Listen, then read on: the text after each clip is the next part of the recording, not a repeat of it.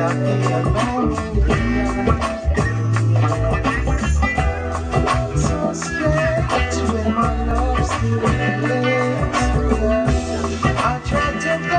man, a human being, a music man, yeah, a character. Mostly music though, yeah. Grew up listening to a lot of people like different um, people like different genres, really different genres. You know what I mean? I said Neil Diamond, you know what I mean, Motown stuff, Berry Gordy, um, reggae as usual, but real old old reggae. You know what I mean? Classical stuff, not like you know what I mean, Italian classical, like Spanish classical, like Ravel Debussy, Bolero, you know what I mean, African music, Miriam Makeba, you know what I mean, that, that type of stuff.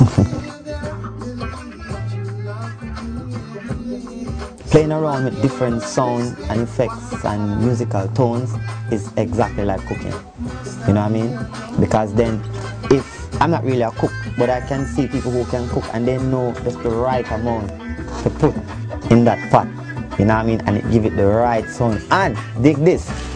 There is a style of cooking. A lot of people can cook in them house. And they can't cook for a mass group of people. Them can cook a small pot, them make a family, and it tastes good. But them can't cook a big pot because then them get all crazy and confused and add too much this or too little of that. And the same with music.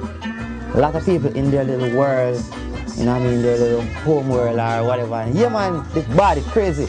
But then for a bigger audience, it don't appeal because they don't understand that. So then you have to be a little bit more technical. We recognize now, I have to sharpen my craft, I have to know how much ingredient, what kind of effect to put on this thing. I'm an effect, that's why them call me effects, because I use a lot of effects in the studio. Yeah, the sound effects. So then I'll know the delay, the right amount of delay to put with the right exact tone to get the snare. Most engineers who have lot of Grammys and lot of things, I work with many engineers, and most of them, they don't have feel. Very few engineers have feel. You know who has the feel? The older guys. The older, older guys, especially the ones who know the digital equipment. They know how to let the analog equipment sound a little bit in the digital because they know that okay this was originally designed to do that you know what I mean? So they are the best set of people to work with. You want to have new sound, you don't want all all up the sound. So people, you know, growing, music is growing. So happens is I've um, experienced here can see where I'm trying to go. Because then they remember the music felt right.